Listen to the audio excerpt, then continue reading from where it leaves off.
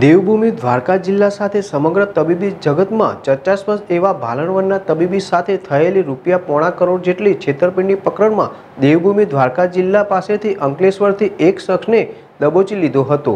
આ શખ્સે બેંક એકાઉન્ટમાં ચોક્કસ રકમ જમા થઈ હતી, જ્યારે અન્ય શખ્સને પણ ઝડપી લેવામાં પોલીસે પગેરું દબાવ્યું છે.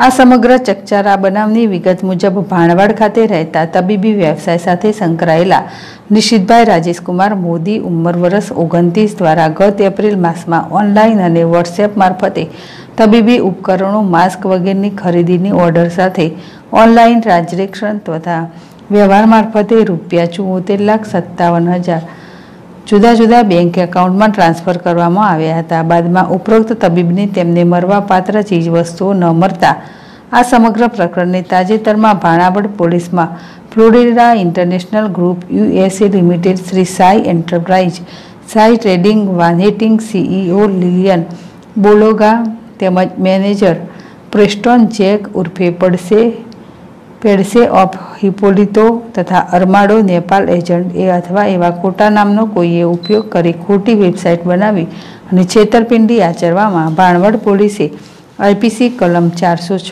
ચારસો વીસ તથા એકસો ચૌદ અને ઇન્ફોર્મેશન ટેકનોલોજી એક્ટની વિવિધ કલમો મુજબ ગુનો નોંધી તપાસ હાથ ધરી હતી. આ સમગ્ર પ્રકરણ અંગે એક બેંક એકાઉન્ટ ધરાવતા અને એમાં રૂપિયા આઠ લાખ જેટલી રકમ જમા કરાવવામાં આવી છે.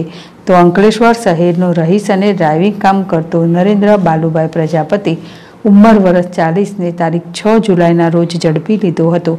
બાદમાં તેનો કોરોના ટેસ્ટ કરાવી અદાલતમાં રજૂ કરાતા નામદાર અદાલતે તેના સાત દિવસના રિમાન્ડ મંજૂર કર્યા હતા.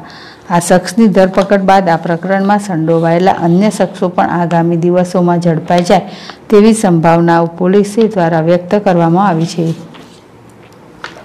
મુકેશ મોકરિયા જેડેશ ટીવી, દ્વારકા. હાલમાં દેવભૂમિ દ્વારકા જિલ્લાના ભાણવડ પોલીસ સ્ટેશનમાં એક વિશ્વાસઘાત તથા છેતરપિંડીની એક ફરિયાદ નોંધાઈ છે. એ ફરિયાદમાં તપાસ કરતા એની વિગતો એવી છે કે એમાં ઓનલાઈન માધ્યમથી જે આપણા ફરિયાદી છે નીતિશભાઈ રાકેશ કુમાર મોદી, તેમની સાથે રૂપિયા ચુંવોતેર લાખ સત્તાવન હજાર ચારસોની છેતરપિંડી થઈ છે. આટલી મોટી રકમની છેતરપિંડી હોવાથી આ ગુનાની તપાસ અમે જાતેથી સંભાળીએ છીએ અને તપાસ સંભાળ્યા બાદ ટેકનિકલ તથા હ્યુમન ઇન્ટેલિજન્સ તથા અલગ અલગ ટીમો બનાવી ગુનેગારોને શોધવાનો પ્રયત્ન ચાલુ કર્યો હતો.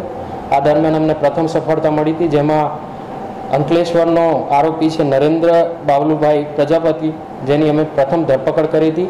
તેના છ તારીખ છ સાત બે હજાર વીસના રોજ અમે એની કાયદેસરની ધરપકડ કરી હતી અને કોર્ટમાં રજૂ કરી. એના સાત દિવસના રિમાન્ડ મેળવ્યા હતા.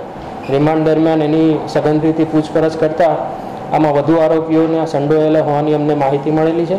અને અલગ અલગ ટીમો બનાવી આ વધુ આરોપીઓને પકડવા માટેના ચક્રો ગતિમાન કરવામાં આવે છે. અને